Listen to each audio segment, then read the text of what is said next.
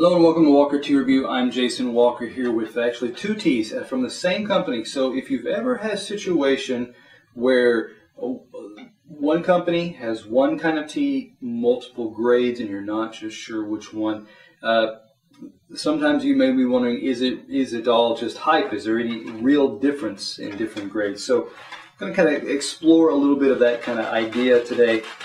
Same similar tea. Not there are very subtle differences. And what I've got out uh, smaller gaiwans, as you can see, not my usual three ounce size, but uh, this will be helpful for comparing two teas like this. And I'm scooping in just enough to really cover that bottom. Oh, this time about about it um, an inch area of the base, the bottom of that uh, of that smaller gaiwan there. So this gaiwan is going to fill is going to be about one of these cups. And so I'll talk a little bit more about that. And I'm scooping up. I'm trying to eyeball it. I mean, I don't want to have to go to the precision of getting out a gram scale, a scale and measuring by mass or weight. Although we, you could if you were so inclined. That should be a good amount right there take my uh, water that's been brought to a fairly early boil. Let me get some of this uh, uh, equipment out of the way here. Let me get this off to the side so that you can also see what's happening here. I'm going to pour, add some water to both. Put in a little bit of little bit extra water so a little bit sits right above the rim of the lid when I put that on. That looks good. Fairly even amount of water you know, just add a little bit water, added water to one just a few seconds before the other. But uh, pouring from that one first will balance that out. Let me get a little bit of this water that dripped out of the way here. And then be able to talk a little bit about these two teas here. The one on my right, your left, is, uh, again, both of these are from the JK Tea Shop. That's jkteashop.com. This one on my right here is the Mount Wudong Huang Zhi Xiang. Huangjishang is uh, can be translated as gardenia, or that's how they're la labeling it here. This is a Dancong oolong from uh, from southern China, Chaozhou area of China in Guangdong province. It's a 2011 spring. Uh, here in my left hand, your right would be the 2011 uh, spring nonpareil Mount Wudong Song variety Huang Zhi Xiang. Phoenix Dancong. Okay, so what is the difference here? They're, well, they're both 2011s. They're both springs. They're both from the Chaozhou area, the uh, Phoenix area, Phoenix Dancongs. They're both the same kind of Phoenix Dancong. Where do they differ? Uh, grades. One is a premium. One is a nonpareil. Uh, this one is called considered a song variety. Now there are teas that go back to the Song dynasty. So these are hundreds of years old. Uh, so this they as these this, as these trees are older, it means their root systems are more are deeper, more established. They're draw potentially drawing nutrients from deeper in the ground, and therefore potentially a a, a richer, uh, better uh, better content uh, components in that tea. So that's what we're going to be looking at and considering is that is that necessarily true. Of course, manufacturing process and processing can play a factor as well. Choosing picking at the right harvest time, other things to consider. Now, let me talk a little bit about prices here. The, the premium 15 grams available for $2.10. Uh, the nonpareil 15 grams $5.40. Now, at 15 grams, which of course is less than an ounce, you may think, what's the bother? But if you're getting higher volumes, larger amounts, prices can uh, will increase along those. And you may be thinking, where do I draw the line? Where do I choose? How much do I want to? Will there be much difference in taste? Uh, and is it worth that price to, price difference to pay for that difference in taste? So, um, well, I can let this steep just a little bit longer, but uh, talk about these leaves for a moment. Talk about the dry leaf, the wet leaf, and the liquor. First off, dry leaf premium. Subtle, light, uh, at least initially.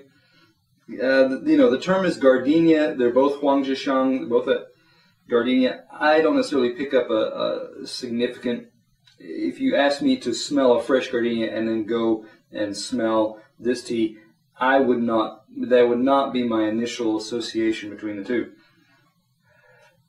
There is, especially when you breathe on this tea and release some of the notes there, get some moisture and heat, they release some nice kind of tangy, fruity, uh, uh, peach, um, combined with sour grape, maybe a little mango in there. There's a, there's a nice tart, fresh kind of fruity element there.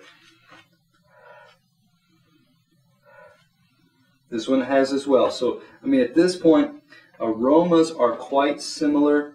Um, uh, uh, initially, before you breathe on the tea, you'll get some kind of a, a mellow, roasty type note. Uh, has some kind of sweetness there. Um, perhaps you would associate that with the gardenia. Now, I am going to kind of pull out a few of these leaves. First off, I just kind of look at them side by side here. Um, looking down into the bags here and comparing my premium. Uh, they look like larger, um, wider, thicker, like they're not as tightly wound, or they are larger leaves in general. They look a little bit longer, and they look a little bit uh, lighter brown. They're still, let me go ahead and pull out just a few of these. They are still a fairly rich, um, you know, deeper than ochre, um, but they are generally fairly lighter brown, a little bit more on the rust reddish type color in comparison with the nonpareil, which gets moves a little moves more towards a uh, darker, almost like a dark chocolate type color. So this one goes it goes more towards the brown. This one's a bit, a bit more towards the reddish elements there. Now, um, you know what? I'm going to just kind of set these aside so that I can put them side by side. So let's put that there. Moving on over here to the premium. Pull out just a few of these here. Looking at them again side by side, these in general look to be a little bit more tightly wound, tightly wrapped along the length of the vein. Um, again, just as a glance uh, down into the bag, here on, on the, the plate here, the saucer here, um, premium looks a little bit of a larger, longer leaf as well. Uh, again, these the nonpareil look a little more tightly wrapped, but I'm going to move and get into the, the liquor now. I think this is steeped long enough. I steeped, uh, of course, I'm steeping here, and now I've, I've also done off-camera tastings, which helped me to understand this tea a little bit more. Again, with a lot of oolongs, your first steep is not necessarily going to be your optimal steep. A lot of times, the second steep, you will uncover things that you did not pick up in the first steeping. So first, uh, let me kind of move these off to the side so that you can see a little bit of that liquor. You can kind of be looking, making your own uh, judgment already based on what you see there. But I'm going to go ahead and talk about the sweat leaf here.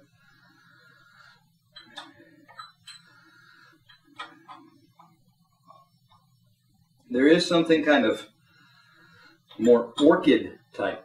I would not necessarily associate with, and I know there are going to be other teas in the Dancong area that have their labeled more so as, as oak, orchid, but generally I find this kind of orchid with a uh, peachy type note. Pulling out a few of these leaves and looking. Um, so aromas, I should say, you get very similar aromas. Um, just kind of comparing the two, the nonpareil gets a little bit more gets a little bit more mellow, a little bit more rounded, a little bit smoother in its uh, in its notes. It's got a little bit more of a of a uh, lightly and more uh, smoothly toasted, I guess would be the words to use there. Pulling out a few of these leaves, they have they can gently be unfurled and teased apart for the most uh, you know, with a little patience and time there, I'm kind of pulling that one. I'm not going to pull it completely open. but you'll be able to see some colors there. I'm seeing fairly dark, there's still a lot of dark green, uh, the blotching of uh, the oxidation, the, the rust type colors, they are appearing along the outer edges of the leaves there. Let me pull out a few of these. Again, looking down into these two cups, my premium, they have loosened up quite a bit more in relation to my uh, my nonpareil here. Again, still more generally more tightly wrapped, tightly wound. So uh, you can still you can also see some browning along the edges there, still that rust type color. Looking at the two, the the nonpareil leaves are uh, still a, a deeper, richer, uh, more towards a an olive drab greenish, darker, uh, slightly brownish there, um, as compared to a more almost uh, greenish with a tinge of yellow to the olive drab in the in the premium. So it appears. I would also get the conclusion, draw the conclusion that, of course, the varietal, the source of this tea is different. I should mention a little bit before about that source of tea. Although they are both from the Guangdong, uh, Chaozhou area, uh, you can go down to the specific village. For the premium, village is the Guanshi village. The Nonpareil village is the Li Ping village. So slightly different, uh, and those villages can be different elevations or altitudes on that uh, on that uh, mountain, the Phoenix Mountain there. So location has played a potentially played a factor here. Um, the age and source of the, the, the, the tree, the, the bushes themselves are a factor, of course. But I also it also appears that processing is a factor here. Tightly, more tightly wound versus a little bit uh, less tightly wrapped, a little bit easier to unfurl. Um, color as well. Again, the, the pluck of that leaf but also the way that that tea was oxidized and, and that those those that oxidation process was stopped and that leaf was preserved. So moving on then, talk about these two liquors. Very similar in color here. Uh, a little bit more, a little bit uh, richer, a little bit brighter, a little bit more reddish in the nonpareil here. Let me pour both of those. See if I can do a two-hand pour here. That looks good. Still nice, sweet, tangy, um, again, peachy, mango, zesty type notes. This one has it as well, but it's mellowed. It does get a little bit more, a little bit more floral, a little bit more uh, toasty, sweet kind of notes. If you had that peach and you you had grilled it or toasted it, there's some of those kind of notes coming out as well. Let me go ahead and give this uh, premium a try here.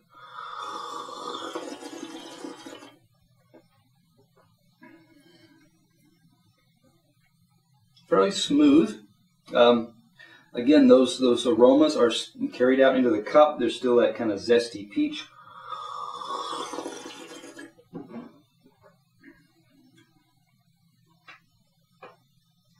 Astringency is there. It's not over. It's not uh, overpowering or really harsh. Although this camera, this tasting, off-camera tastings, astringency um, and the, the the feel of the of the tea sits more in the in the front third of the mouth. Okay.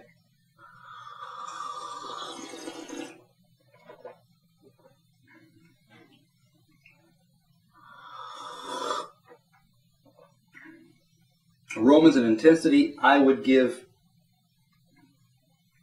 lean ever so slightly towards the nonpareil. Just a little bit, a little bit stronger, a little bit mellower, a little smoother. Uh, smoothness, talking about that part, uh, texture, aftertaste. This one is a little bit gentler, a little bit smoother, where the other, the aftertaste tended to, and the astringency kind of tended to sit towards the front of the mouth, this the front third. This is more in the middle third. It's moving back a little bit more. It has a bit more, in the aftertaste, it has more sweetness to it. Um, the the premium gave a bit more of a, of a dry type of feeling. This one has a, a gentle, a gentler dryness, and then gets builds more of a little bit of a sweetness there. So, putting these two teas together, taste-wise, if you're just looking at aromas and taste, you're not going to find that uh, a significant amount of difference. But if you then go on, you talk about the texture, the aftertaste, the feel of the tea after it, after you swallow, or as you as you swallow, and then afterwards, you're going to pick up more mellower, smoother differences here in the nonpareil. It's going to get build up more so, noticeably more sweetness. Okay, it's going to sit differently on your mouth and in your inside of your mouth after you swallow. And so if you're looking at these two teas and you're just trying to decide which one, which preferences do I really look for, or which teas do I really enjoy, and which ones are, how are they different? If I were to score them, I would give the premium an 88. I would give the nonpareil a 91. Uh, grades do matter, and tasting a tea goes beyond just those those uh, those flavor profiles, those, the simple flavor profiles. So come back to Walker Tea Review to find out more about teas, grades, and going beyond the flavor profile.